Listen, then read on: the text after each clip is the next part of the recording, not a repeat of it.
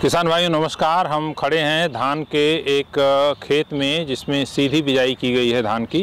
ये हमारी एक नई किस्म है, पूसा 1850 जिसमें कि जो झोंका रोग, यानी ब्लास्ट की बीमारी बिल्कुल नहीं लगती है, उसी के लिए संभा मसूरी जो बहुत प्रचलित किस्म है, उसका सुधार करके इसको बनाया गया है।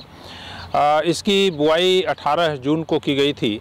और धान की सीधी बिजाई हम लोगों ने तर बतर विधि से की थी। पहले खेत में पानी लगाया था, पानी लगाने के बाद जब बत्तर आ गया, उसके बाद खेत की अच्छी तरह से जुताई करके, पाटा लगा करके और फिर सीड ड्रिल से बुआई कर दी थी। लेकिन हुआ क्या कि उसके तुरंत बाद जो है बरसात हो गई। बरसात होने से पपड़ी जम गई थी खेत में। उससे अंकुरण में दिक्कत आ रही थी तो हम लोगों ने उसमें दोबारा पानी लगाया था। इसके बाद इतना बढ़िया अंकुरण हुआ जैसा कि आप फ़सल देख रहे हैं, इसमें कहीं कोई गैप नहीं है। तो जब हम धान की सीधी बिजाई के प्रबंधन की बात करते हैं तो इसमें इस बात का बहुत ध्यान रखना है कि अगर इस तरह की कभी स्थिति पैदा हो जाती है तो आपको तुरंत निर्णय लेना पड़ेगा कि क्या आपको करना है। इसके अलावे पौधों की संख्या पर्याप्त हो। जैसे हम रोपाई जब करते हैं तो प्रति स्क्वायर मीटर करीब हम 33 पौधे बरकरार रखते हैं।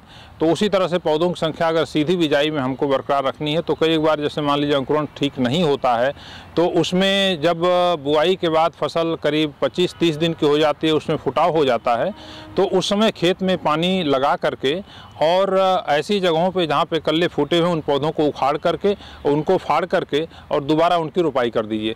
तो इससे जो खेत में गैप है, वो पूरा भर जाएगा और आपकी पैदावार बहुत अच्छी आएगी। अब इसमें इस खेत को देख करके कोई भी आदमी ये नहीं कह सकता है कि ये धान की सीधी बिजाई की गई है या इसमें धान की रोपाई की गई है। इतना बढ़िया इसमें पौधों की संख्या पूरे क्षेत्र में मेंटेन है। इस बार पंजाब में करीब छः लाख हेक्टेयर क्षेत्रफल में धान की सीधी बिजाई की गई, उसी तरह से हरियाणा में भी। और इससे आपका सीधा फ़ायदा है। एक तो जो श्रम की बचत होती है, करीब तीन हज़ार रुपये के आसपास रुपाई का खर्चा बचता है। पानी की बचत पैंतीस प्रतिशत के आसपास होती है। और इससे जो है हमारा वातावरण के ऊपर भी इसका सकारात्मक प्रभाव पड़ता है। कुछ समस्याएँ हैं धान की सीधी बिजाई में, जैसे खरपतवार नियंत्रण, वो सबसे बड़ी चुनौती है। और इसके लिए बुआई के तुरंत बाद बहत्तर घंटे के अंदर पेंडीमिथिलीन का छिड़काव किया जाता है और करीब जब फ़सल 20-22 दिन की हो जाती है तो उसमें हम नामनी गोल्ड का छिड़काव करते हैं। इससे नियंत्रण पूरा अच्छी तरह से हो जाता है।